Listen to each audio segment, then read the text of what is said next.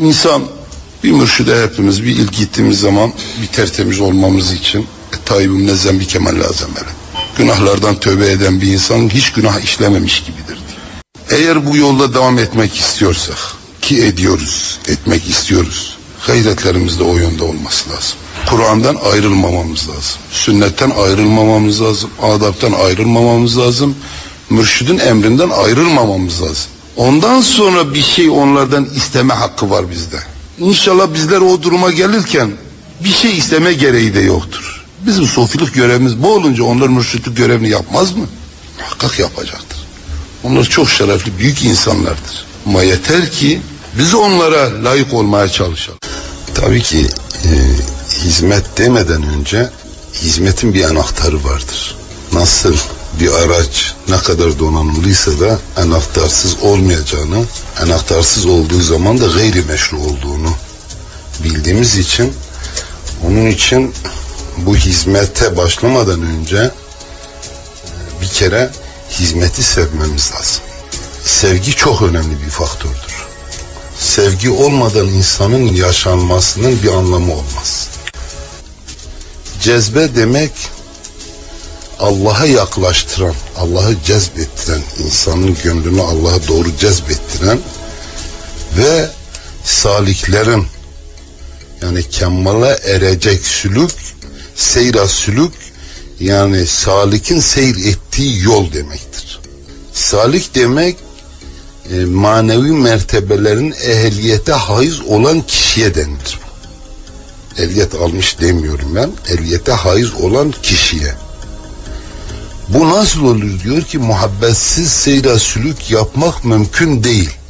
Allah'a ulaşmak mümkün değil. Onun için ne kadar cehd edersen, gayret edersen, cehdeya bi işkuhub, aşksız ve muhabbetsiz cehdi ne kadar ederse et, cehdeya bi işkuhub cenab-ı bir fayda. Ne yaparsan yap faydası olmaz. Onun işin her işin başı sevgidir. Çünkü Rabbül Alemin kainatı Peygamber Efendimizin sevgisinden dolayı yarattı. Kainatın yaratılışı yani temel gayesi yine sevgi üzerinde yaratılmıştır. Onun için bizim yapacağımız iş Allah yolunda gitmektir. Allah'ın kullarına adil bir şekilde nasıl davrandığını bu sebeple mahlukatı sevgi için yarattığını, bu sevginin de insanlara ilk önce faydalı olduğunu bilerek, çünkü Peygamber Efendimiz buyurmuş, hayrun nasi men yenfa'un nas demiş. İnsanların en hayırlısı, en menfaatli olanıdır. Yani insana hizmet edendir. Tabii ki bunun başında niyet önemlidir. Bu söylediklerimle beraber gaye Allah'ın cezbi ise gaye seyri sülük kamil insanların yoluysa o zaman hizmet o anlamda mana taşır. Sevgisiz yapıyorsa, niyetin yanlışsa hizmetin bir anlamış olmaz. Hizmet nimettir. Bizim Semerkant grubunun bir sloganı vardır. Büyüklerimizin bir sloganı vardır. Hizmet nimettir. Nimet biraz evvelki anlattığım şekilde ise o nimet gerçek nimettir yoksa zulmet. Tasavvuf nostaljik değildir. Peygamber Efendimiz buyurmuş bu din garip gelmiş garip gidecektir. Hakikaten de bugün gerçek dinini yaşayan hep garip bir halde köşede kıyıda çok güzel dinini yaşıyorsa deli gibi gözüküyor. Ama halbuki akıllı bir insan yaşama niçin dünyaya geldiğini ta başında söyledim. Oma halaktul cinne vel insa illa liyabudun. İnsanları ve cinleri yaratmadım. Ancak bana ibadet etsinler diye yaratıldım. Yani e, yaratılış gayemiz ibadet.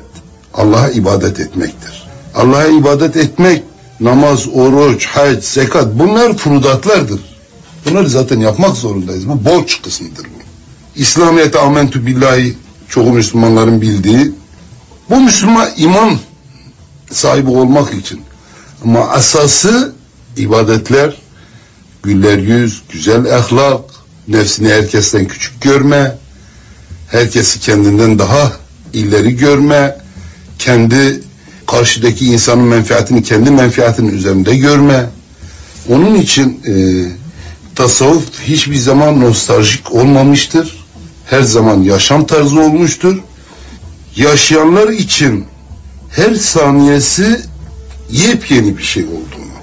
Çünkü büyüklerimiz tarafından buyuruyor, tasavvuf kitaplarından da vardır. Evliyaların makamları insanların nefes aldığı, alıp verdiği kadar makamlar vardır. Ve insan bir ibadet, bir iyilik yaptığı zaman bir makam vardır. Onun için e, nostalji söz konusu değildir. Ama o kadar azalmış ki nostaljik bir hale gelmiş.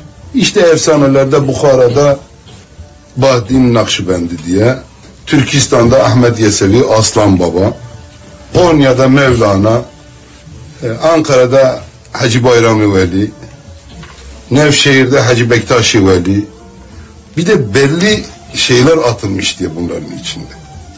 Mahsus. Bunları bir nostaljik hale getirebilmek için.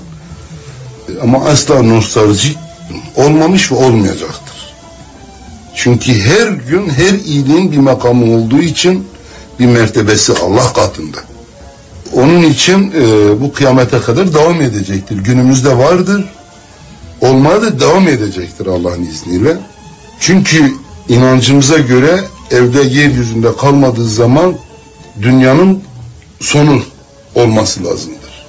Onun için dünyanın sonu olmadığı gibi bugün dünyanın sonu değilse demek ki bu işler devam ediyor. Tasavvuf işleri devam ediyor edecektir bu. E, tasavvuf demek e, bizim mana verdiğimiz Peygamber Efendimizin sıfatlarını taşımaktır. Tasavvuf safi demektir. Her ne kadar günümüzde saf insanlara saf ahmak yerine konuluyorsa gerçekten saflara ahmak diyen ahmaktır. Çünkü saf demek e, masivanın dışında Allah'ın dışında hiçbir şeyi düşünmeyen insan demektir. Sofiliğin şeysi o. E, büyüklerimizin yine bir sohbeti vardır. Ancak gerçek sofiler peygamberlerdir.